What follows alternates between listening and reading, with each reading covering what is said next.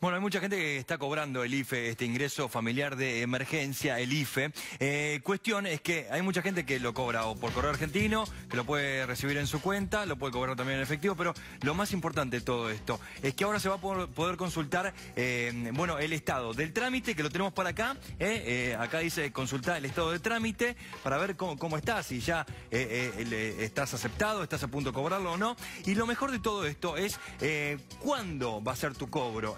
Ingresa para conocer tu fecha, lugar y medio de cobro. Esto es algo que se acaba de habilitar en la página de ANSES. Esperemos que no se caiga. Esperemos, porque ya hemos visto todas las páginas habidas y por haber que se estuvieron cayendo en el último. Los home bankings, trámites a distancia, la página para pedir los permisos, todo. Pero bueno, esta es la página del ANSES, también se cayó la de la FIP, se cae todo en, este país. Mira, dice, ¿cuándo y dónde cobro el ingreso familiar de emergencia? Esto, como, si querés vamos de nuevo para atrás para explicarte para que lo entiendas. Perdón, Nico, ¿eh? vamos ir de nuevo para atrás. Esta es la página, la home, ¿eh? la página cuando vos pones anses.gov.ar, te, te encontrás con esto. ¿Dónde haces clic?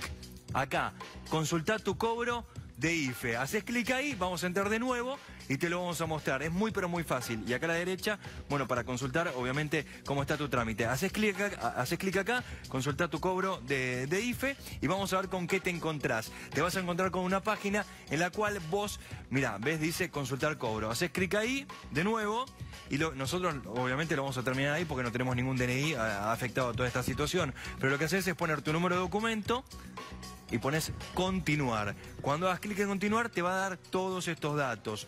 Lugar, fecha, medio de cobro, etcétera, etcétera, etcétera. Se acaba de implementar en la página del ANSES. Repetimos, ANSES.gov.ar y en la home, en la página principal de la página, vos podés acceder de un teléfono celular, de una tablet, de una compu, ¿eh? vas a poder encontrarte con esto que te mostramos recién, así que se acaba de habilitar, esperemos que no se caiga, pero bueno, es una muy y una nueva función ¿eh? para que todos ustedes puedan chequear.